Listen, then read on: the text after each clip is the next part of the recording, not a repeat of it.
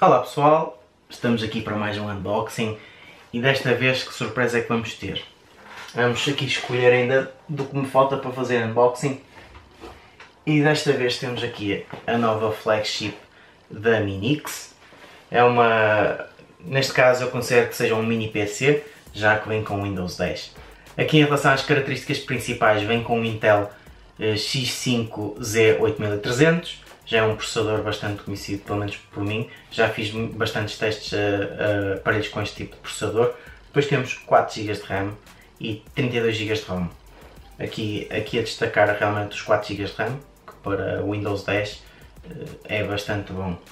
Depois também temos o Wi-Fi é Dual Band AC, Bluetooth já é 4.2, o Windows 10 é 64 bits e está ativo, é uma licença genuína, depois eh, temos as especificações relativamente normais, temos HDMI 1.4, tem mini DisplayPort, portanto dá para utilizarmos esta, este aparelho com dois monitores. Vamos ao que interessa, que é abrir e ver como é que ela é por dentro.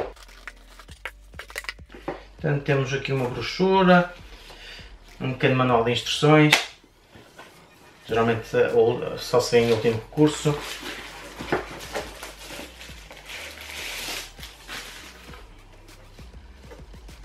Ela é um bocado maior do que as boxes eh, Android que tenho visto. Diria que é quase o tamanho da Mini Xen GC1. A parte de cima é um preto mate, em plástico. E depois a parte de baixo eh, aparenta ser em alumínio. Temos quatro pernas de borracha que devem estar a esconder os parafusos que nos vão permitir ver como é que ela é por dentro. De lado então temos a nossa, o nosso conector para uma antena externa. Fechadura Kensington, à frente temos um LED, do lado temos o botão de energia, carta, carta para cartão micro SD, três entradas USB 2.0 e uma entrada USB 3.0.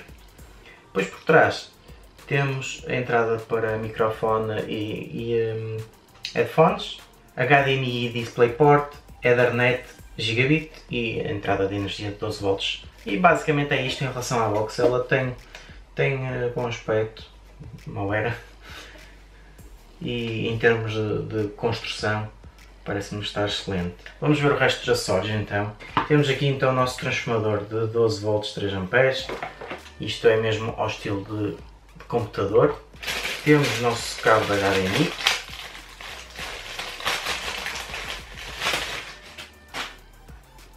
Com a indicação de High Speed Cable.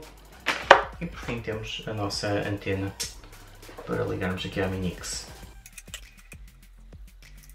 Está assim feito o unboxing, vamos então ver o interior da box. Vamos então aqui abrir a nossa Minix.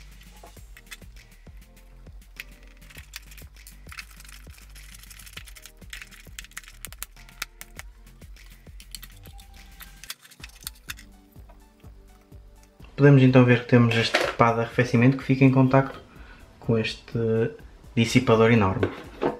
Podemos ver que estes componentes todos que temos aqui ficam em contacto com a, a parte de baixo que é metálica para arrefecer melhor e também estes componentes aqui. Depois podemos ver aqui o chipset Wi-Fi, que é o AP6255. Temos então a nossa pilha para Real Time Clock, aqui também ligada, não está soldada e ainda temos aqui mais uns pinos, possivelmente para debug.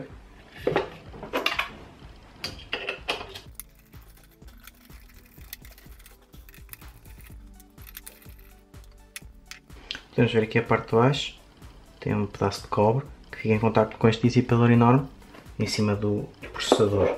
Depois podemos então ver aqui as memórias RAM da SK Inix, o nosso AMC 32 GB da, da Samsung e o, o, processador depois ali por baixo que fica em contato com o dissipador.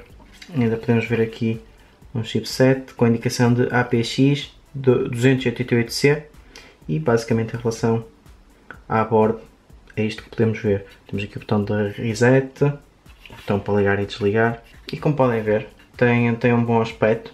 As bordas em preto sempre ficam com um aspecto interessante e em relação à abertura da box é isto.